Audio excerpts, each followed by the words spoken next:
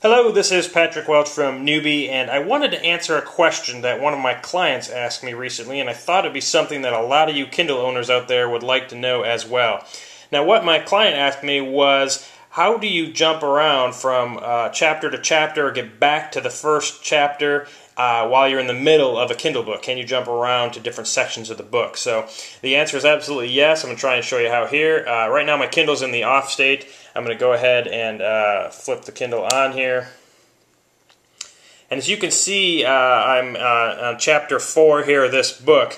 And let's say I wanted to go back and uh, reread chapter 3. Now I could go back and use the buttons here on the side uh, either side there, and go back, back, back, back, one page at a time until I got to uh, chapter 3, but that's not exactly the most efficient way to do it. An easier way is to go down while you're reading your book, uh, press the menu button located right here where my thumb is. I'm going to go ahead and press that.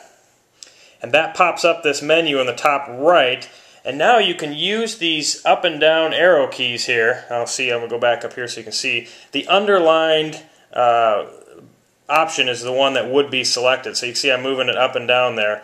And all you need to do is go to the one that says Go To.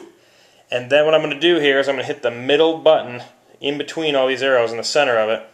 I'll go ahead and hit that while Go To is selected.